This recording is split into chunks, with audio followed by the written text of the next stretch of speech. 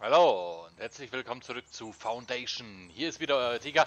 Es geht nach längerer Zeit, geht es hier wieder weiter in einer sechsten Folge. Die letzte Folge war Der König ruft.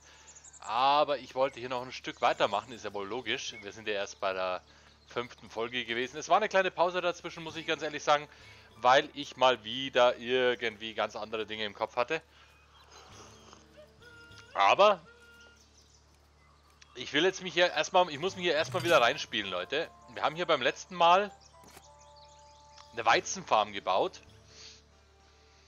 Und wenn man mal länger nicht spielt, dann kommt man immer so ein bisschen durcheinander. Äh, Erntefelder. Für was haben wir hier eigentlich die Felder errichtet? Frage ich mich. Da bauen die sowieso nicht an. Aber wir haben hier drei Angestellte.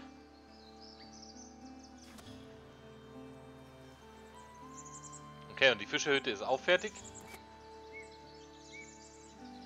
Wir haben eine Fischerin, die geht fischen. Das ist auch okay. Zwei Dorfbewohner haben keinen Platz für Wohnraum.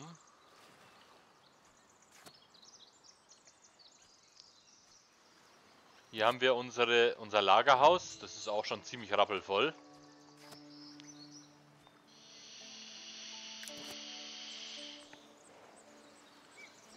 Stecke fest, während ich zur... Was?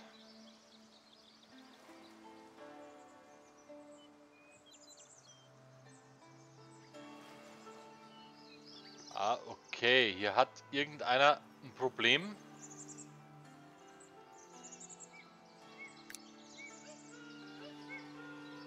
Ich verstehe die Problematik gerade nicht.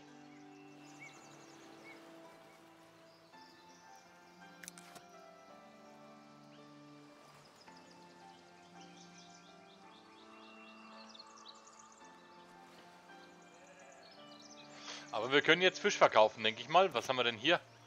Hier wird der Fisch verkauft. Äh, schauen wir doch mal einfach auf die Warenliste. Wir haben Fisch. Ja, wir, wir können jetzt Fisch ähm, weiter verarbeiten.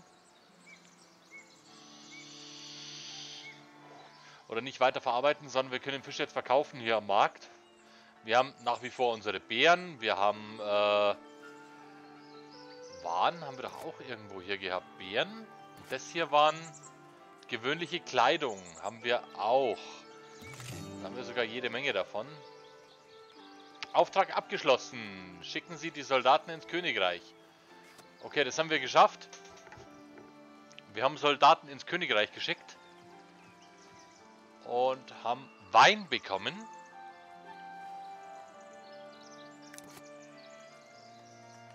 Ja, wir haben Wein bekommen.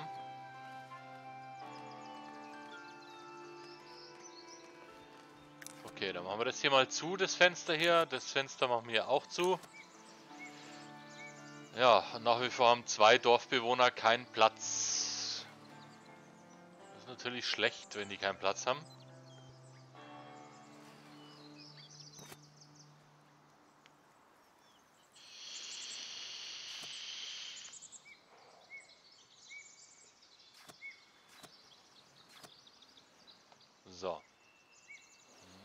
Uns jetzt hier mal um. Okay, hier wird auf jeden Fall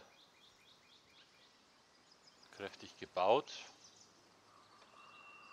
Das heißt kräftig gebaut, hier wird kräftig gefischt. Hier unten. Äh, kräftig gebaut werden muss jetzt aber auch, äh, wir müssten hier irgendwie versuchen, Abbau, Wohngebiet, weiteres Wohngebiet brauchen wir. Und ich würde sagen, wir machen das hier in dem Bereich.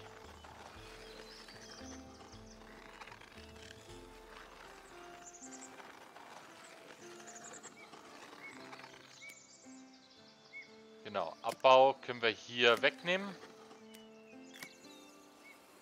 Dann können wir hier wegnehmen den Abbau.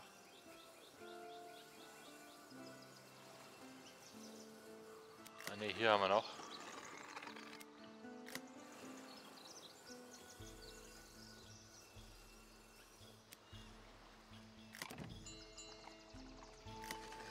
So. Ja, wir warten natürlich jetzt auf jeden Fall, bis wir die nächsten... die nächsten 500 äh, Goldbahnen zusammen haben um unser Gebiet zu erweitern. Aber wir könnten... Schau mal, Fischehütte haben wir, Speicher haben wir, Sägewerk haben wir, Brunnen haben wir, Steinbruch, Holzfällerlager, Sammlerhütte haben wir. Forsthaus, Milchbauernhof, Käser. Weizenfarm, Windmühle. Ich würde sagen, wir bauen eine Windmühle. Wäre schön, wenn wir die einfach mal so hierher setzen könnten. Eine Windmühle und daneben eine Bäckerei. Oh, die kostet uns aber 300 Gold. Sehe ich. Ah, wir haben aber. Oh, wir haben ordentlich Gold ausgegeben.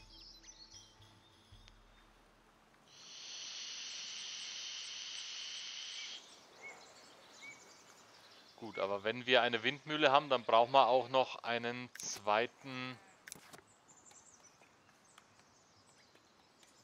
Markt. Jetzt schauen wir mal, ob wir hier noch einen Markt bauen können. Lebensmittelstand für Brot. Zweiten Markt. Den bauen wir hierher.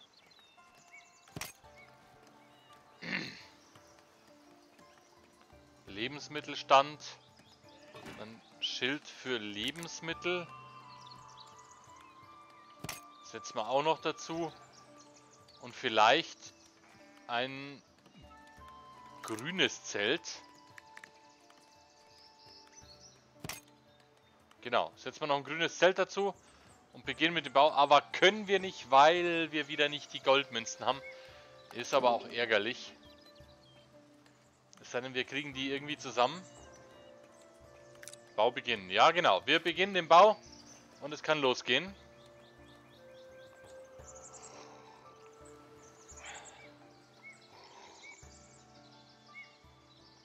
Ein unglücklicher Dorfbewohner verlässt uns.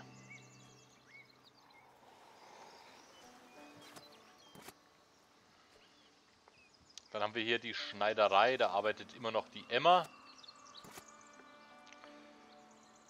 Priester haben wir noch keinen. Tja, wir haben eine Kirche, aber keinen Priester.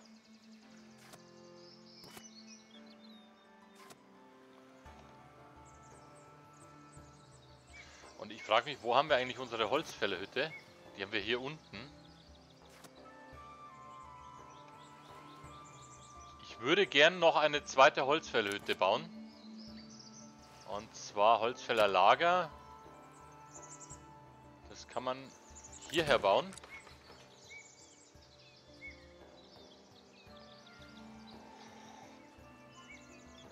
So, dann werden wir mal gucken, wie weit wir heute hier kommen in diesem Video. Das jetzt auch schon seit 10 Minuten, glaube ich, läuft, ja. Äh, ich versuche mich immer so zeitlich auf eine halbe Stunde einzuschießen.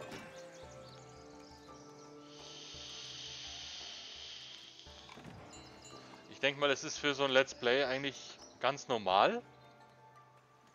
So eine halbe Stunde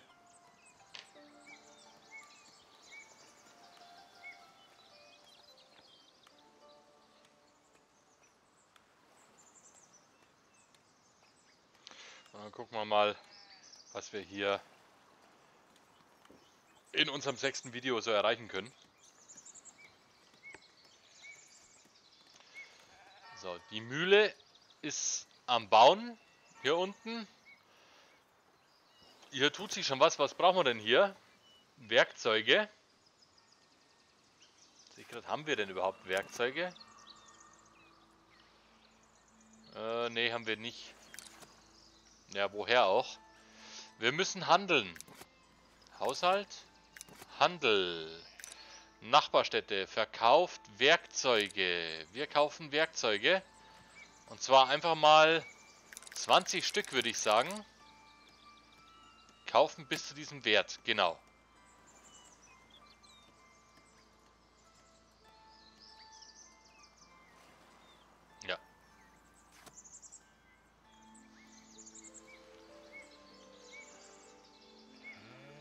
Schauen, ob wir unser Werkzeug zusammenbringen. Wir sind in einem Minusbereich. Das sehe ich hier oben gerade.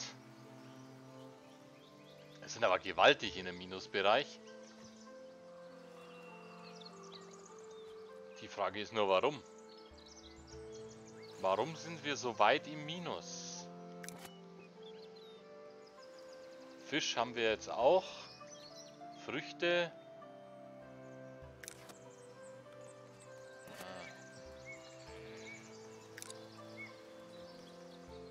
Henry verkauft die Beeren. Bevorraten. Fisch wollen wir doch gar nicht bevorraten.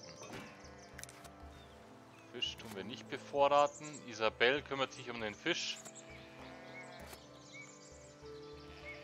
Und um die Kleidung der Robin. Das hat sich nach wie vor nicht geändert.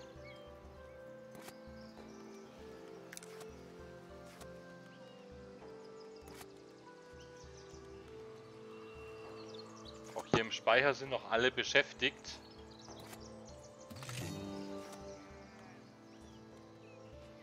Dann schauen wir mal Handel. Wir haben ja Handel hier unten aktiviert. Kauft Brot, Werkzeug und Waffen. Brot haben wir leider eben noch nicht. Aber wir werden schon irgendwie am Brot rankommen. Wir haben jetzt aber auch wieder 130 Goldbarren. Das heißt, es tut sich wieder was.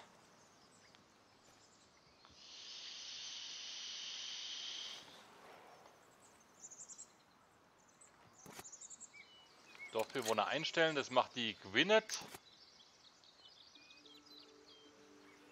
Ah, okay, Müllerinnen. Da brauchen wir zwei davon. Die Virginia und die Gwyneth kümmern sich hier in der Mühle um alles Weitere. Und dann können wir mal hier so ein bisschen reinzoomen. Oder so ein bisschen reingucken. Hier in unser kleines Reich, in unser kleines Dorf, wo sich ja doch schon einiges tut. Hier ist es schon ziemlich lebhaft mittlerweile. Man höre und staune.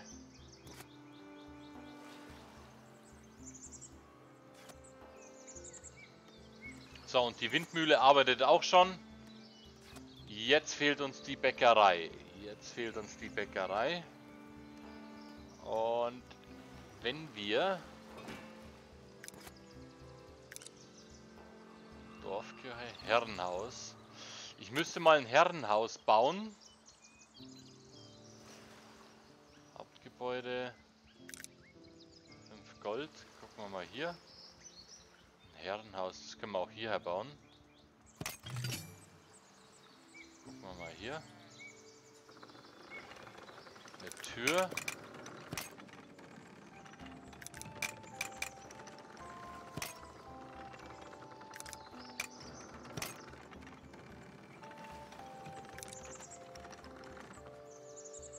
Bau beginnen.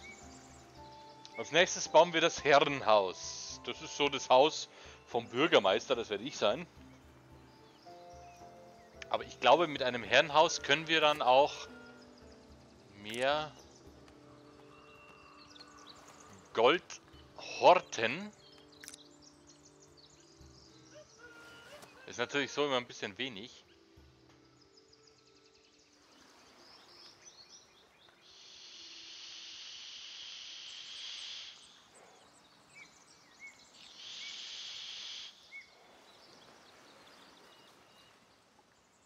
500 Gold ist eindeutig zu wenig.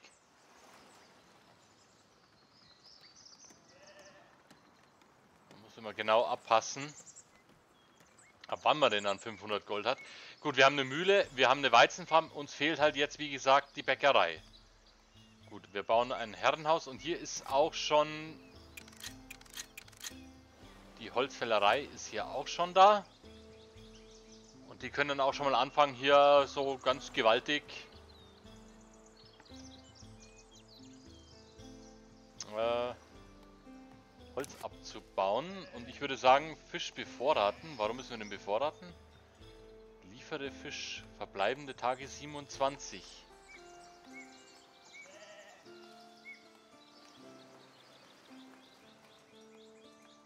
Ah, wir müssen das ja im Speicher ver...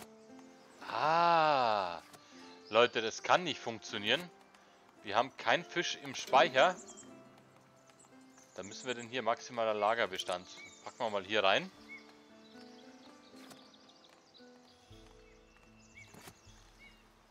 Gebäudeteil Fisch hier. Hier gibt es keinen Fisch. Warum gibt es hier keinen Fisch?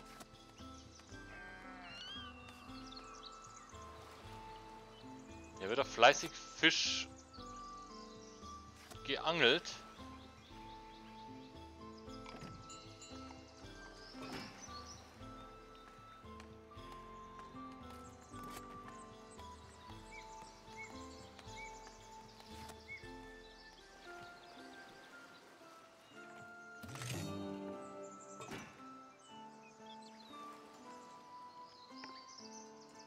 Eisenmine, Eisenschmelze, Böttcherei, Köhlerei und Schmied sind jetzt verfügbar.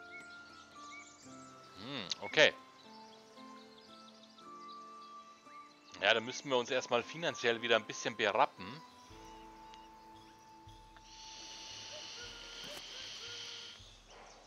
Sorry, im Hintergrund äh, bimmelt immer wieder mein Handy. Das ist äh, leider. So,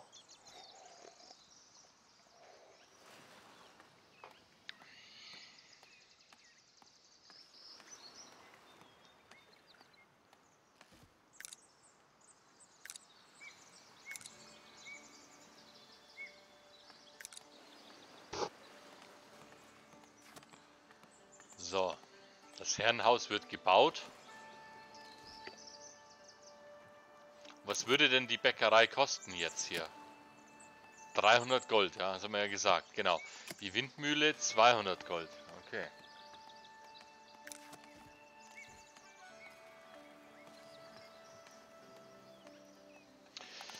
Dann werden wir wohl auch noch einen Speicher bauen müssen.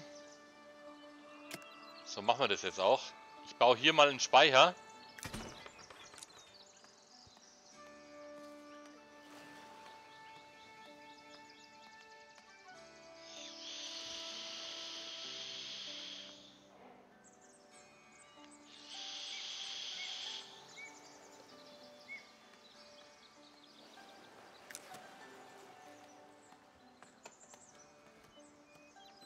Haben mittlerweile 49 Einwohner hier in unserer Siedlung. Und hier hat immer noch, ich stecke fest, während ich zur Fischerhütte. Ich stecke fest. Ach, der steckt da fest. Das ist aber gar nicht gut. Der steckt da original fest.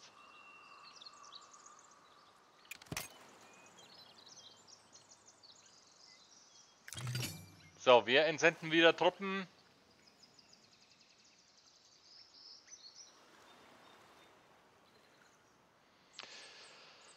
Äh, ich habe jetzt zur Fischerhütte mal einen neuen geschickt. Ich bin mal gespannt, ob das funktioniert. Also ansonsten ist die Buggy, die Fischerhütte.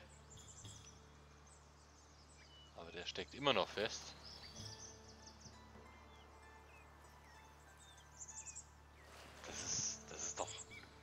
Kann ja nicht sein, oder? Dass der feststeckt. Fischerhütte.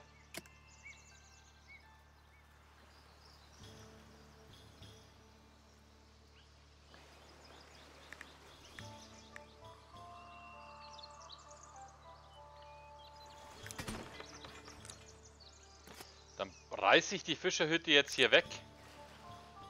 Abbrechen, löschen. Okay, die müssen wir löschen. Ich glaube, das ist Buggy hier unten. Ich habe die Fischerhütte hier weggerissen und habe eine neue aufgestellt. Ich meine, das, das frisst halt jetzt wieder unheimlich viel Zeit, so eine Aktion. Leider ist es so.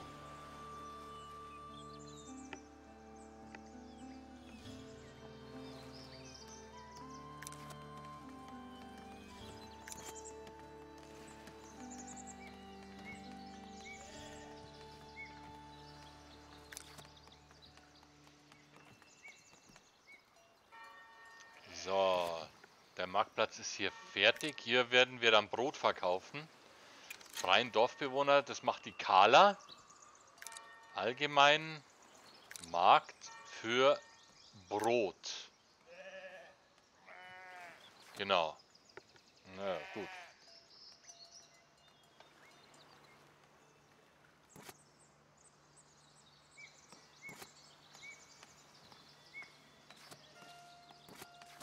unsere Schäfchen hier weiterhin beschäftigt. Die grasen hier.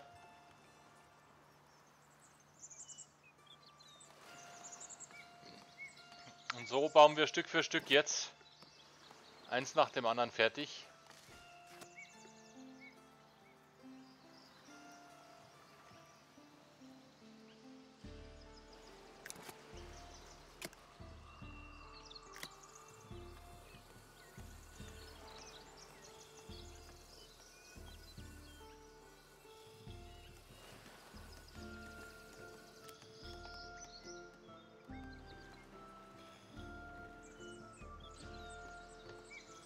So, Abbau. Hier ist eigentlich alles abgebaut.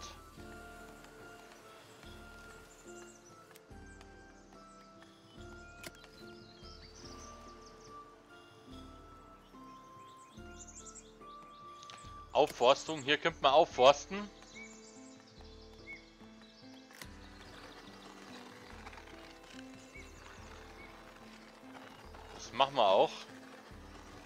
Ich werde hier irgendwo in der Nähe eine Forsthütte bauen.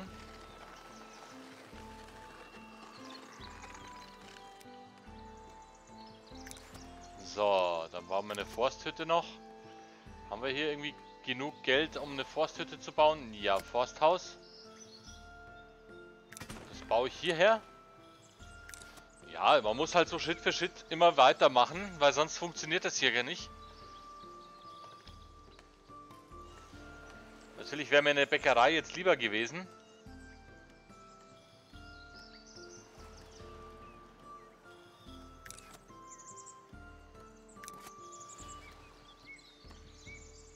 Wir haben einen Ritter, 19 Bürgerliche, zwei Bürger, 24 Leibeigene und drei Neulinge. Okay.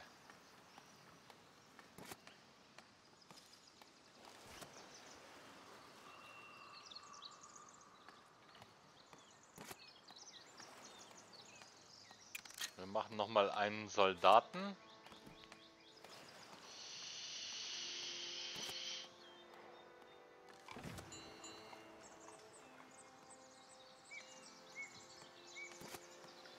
Hier geht auch langsam was vorwärts. Bei unserem Herrenhaus können wir mal näher ranzoomen, wenn es ist. Das wird unser Herrenhaus. Ja, die tragen schon fleißig Gegenstände hier rein. Also Holz und so weiter. Ja, und ich muss eine neue Fischerhütte bauen. Das, das tut mir jetzt leid, aber das ist so. Das ist ein bisschen schade. Okay. So, aber ihr habt es gesehen. Das war auf jeden Fall zu Foundation Video Nummer 6. Ich würde sagen, wir machen beim nächsten Mal weiter. Ich wünsche euch was. Bis dahin, wenn es wieder heißt Foundation mit eurem Ortega. Bye bye. Bis dahin.